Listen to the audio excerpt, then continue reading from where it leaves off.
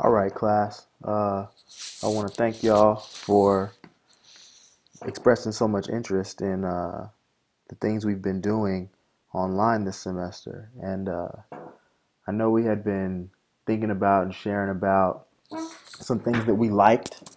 And I know I promised that I would give you guys some opportunity to use the Khan Academy uh, in order to bring to light some of the terms and things we've been discussing with nonverbal communication and also, you know, Kenneth Burke with identification and consubstantiality and, and, how we select, deflect, and reflect things. And so, for those of you who don't know, the, the, the Khan Academy is an outstanding website. Uh, really, bunch of tutorial stuff, bunch of subjects that you can dive into and learn at your own pace. I mean, I almost look at it as like a a Rosetta Stone almost for for knowledge.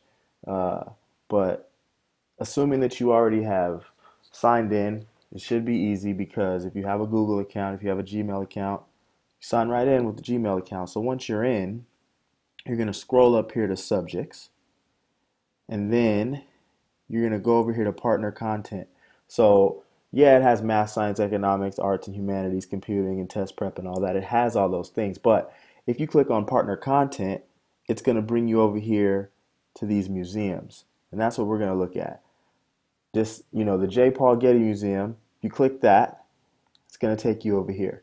And so, you know, it seeks to inspire curiosity about and enjoyment and understanding of the visual arts by collecting, conversing, exhibiting, and interpreting works of art. So, what's that have to do with communication? I'm going to tell you.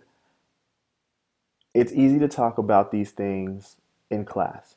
It's very easy to talk about terms and try to apply those terms to life. That's what we're trying to do.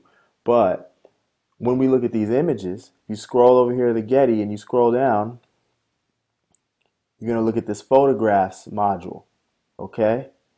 And, you know, when we're looking at photography, you're going to be able to click on a link and it's going to be able to take you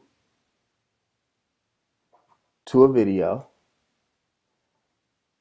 And there's multiple videos showing you how this photography was made right?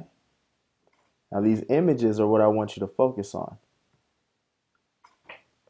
I want you to focus on the images for this lesson and you'll watch each module. You'll jot down some notes. You'll talk about, hey, what were the artists trying to accomplish? What were these photos selecting, deflecting, and reflecting? And why? I mean, that should be your question every time you decide to look upon an image. You need to be thinking about why was that image there? So, you know, we got this grocery and sandwich shop image right here. That's the first thing you're going to see, and it's in black and white, and it means something. Groceries and sandwich shop, it means something. What are they saying and what are they not saying, and why? Who are they trying to bring in? What type of customers do they want? What type of business are they trying to do? Are they wholesome? Are they family run? You see the name up there. Like, obviously, this isn't a chain. This is your neighborhood grocery store, right? Like, we need to be thinking about these things critically. And, you know, Khan Academy, you know, if you click back through, you go back to the J. Paul Getty Museum, you can click back through, go back to partner content, you know, we got the American Museum of Natural History, Asian Art Museum, California Academy of Science, the British Museum. Like, we have a ton of examples for us to choose from in our class that we can use to illustrate all of these terms that we've been talking about all semester. This website is outstanding. You're able to log in, do these things at your own pace and then email me the results and I can go look and see what happens and, and, and look at the modules and look at what you wrote down. It's beautiful. I hope this was helpful. I hope this was insightful.